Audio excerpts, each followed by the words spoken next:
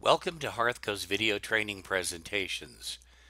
This is video number 14, Outdoor Living Products. We're going to be talking about Hearthco's new line of outdoor living products, fire tables and fire pits.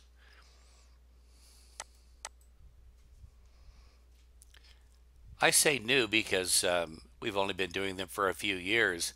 As you probably know, since 1990, Hearthco has been a leading manufacturer of fireplace mantels and surrounds.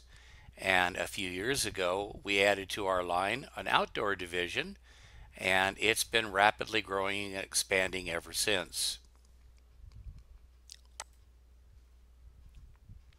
The first one we're going to talk about is the Mount Lassen. Our Mount Lassen is 48 inches in diameter, and it's available either 24 or 30 inches tall. For those of you that are not familiar with fire tables, the difference in a fire table and a fire pit is the table portion. As you can see in this drawing, or a photograph rather, the, um, the fire is in the middle, but the table extends out and uh, you're able to pull a chair up to it and have a meal or a glass of wine and enjoy the um, enjoy the fire but it's a little different than the below the knee campfire type where you roast marshmallows. This also reminds you that all of the uh, fire tables and the fire pits require a, uh, a gas burner sit, set, which is uh, available either LP gas or natural gas.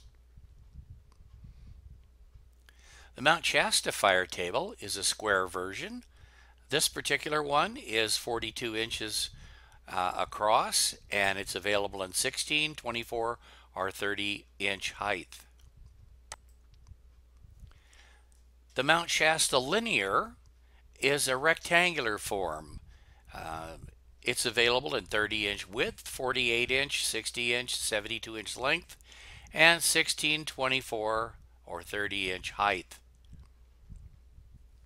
This can either be a fire table or you can order the 16 inch height and treat it more like a fire pit. The Aleutian Islands pictured here. Uh, this shows it in a restaurant setting. It's an absolutely incredibly beautiful product. The particular finish on this Aleutian Islands is the onyx stain, a black stain, with a high gloss clear coat over that. Also note that you can get a smooth finish, a smooth stone Piatto style finish on any of the uh, outdoor products. And for the tables, sometimes if you're going to put the gloss coating on it in particular, that has a nice effect. This is the Mount St. Helens. Now this, the Mount St. Helens is a fire pit. You'll notice there's no table that extends over. And as a rule, it's not as high as the fire tables are. Um, these can be cut to height in the field. So during the assembly process, you can determine how high you want your Mount St. Helens. They're going to be available in a variety of lengths and widths.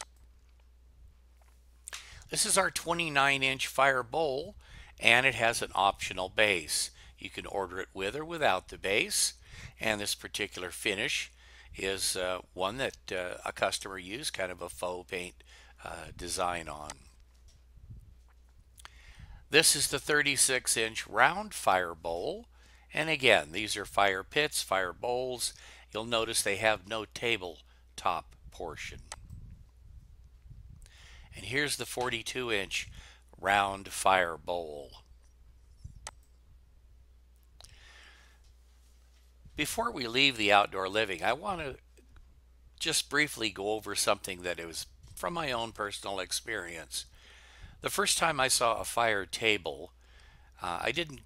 I, I could tell from the name what it probably was, but I did, I couldn't honestly say that I had ever seen one, and I had certainly never experienced one. But it provides an atmosphere which is different. It's it's got the component of that campfire, fire pit um, kind of thing in that fire is always something that that uh, has mystified man since the beginning of time. But a pit has a negative connotation. pits are um, the, the bad part of an olive or uh, an avocado. Uh, places where you dig in the ground and the, the, the, the residue is what's left over after you mine is a pit. So they say thing, something is the pits. It's not generally something that has a great, um, I don't know, kind of a great reputation, you might say. On the other hand, a table is a place for communion.